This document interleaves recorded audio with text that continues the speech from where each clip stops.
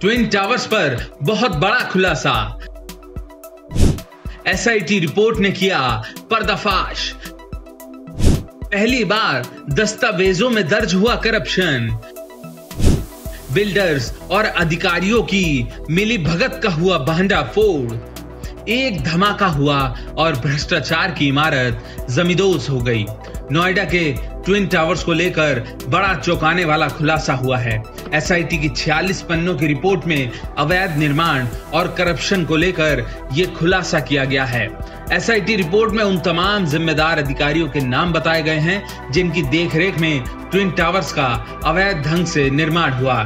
नोएडा में करप्शन के twin towers को ध्वस्त होते हुए पूरी दुनिया ने देखा था। आइए आपको बताते हैं 46 पेजों की इस एसआईटी रिपोर्ट में क्या कुछ बड़े खुलासे हुए हैं। मंजूरी से पहले ही टावर्स का निर्माण शुरू कर दिया गया था। मंजूर नक्शे के मुताबिक नहीं हुआ कंस्ट्रक्शन। हर टावर में दो मंजिला ज़्यादा बनाई गई। फायर स्टेयर केस के बिना ही एनओसी दे दी गई। बिल्डर और नोएडा अथॉरिटी के बीच मिली भगत हुई। बिल्डर के फ़ायदे के लिए सुप्रीम कोर्ट गई नोएडा अथॉरिटी। दो टावरों के बीच वाली दूरी का नियम तोड़ा गया। 18 मीटर की दूरी वाले नियम का उल्लंघन हुआ। एसआईटी रिपोर्ट के अनुसार मंजूरी मिलने से पाँच महीने पहले ही ट्विन टावर्स का निर्माण शुरू कर दिया गया था। सवाल यह है कि आखिर किसकी मिली भगत से कुतुब मीनार से ऊँचे टावर बनते रहे? सालों सालों तक ये टावर्स बनते रहे, लेकिन उन्हें रोकने की कोशिश क्यों नहीं की गई? आइए अब आपको बताते हैं कौन कौन से वो अधिकारी हैं, जिनका नाम एसआईटी रिपोर्ट में शामिल है।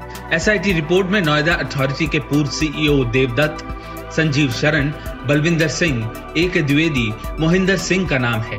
लेकिन इस मामले में दर्ज एफआईआर में देवदत्त, संजीव शरण, बलविंदर सिंह के नाम नहीं है।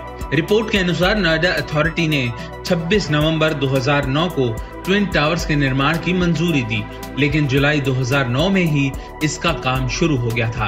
वहीं इस इमारत के लिए सेफ्टी सर्टिफिकेट 22 सितंबर 2009 को दिया गया था। एसआईटी रिपोर्ट में इस बात का भी ज़िक्र है कि बिल्डर्स और अधिकारियों की मिली भगत से भ्रष्टाचार की ये 900 फ्लैट वाली दो इमारतें खड़ी हुई थी। रिपोर्ट में सलाह दी गई है कि आरोपी अधिकारियों के खिलाफ जाँच विशेषज्ञ एजेंसियों द्वारा कराई जाए। हालाँकि अभी तक जाँच शुरू नहीं हो पाई है।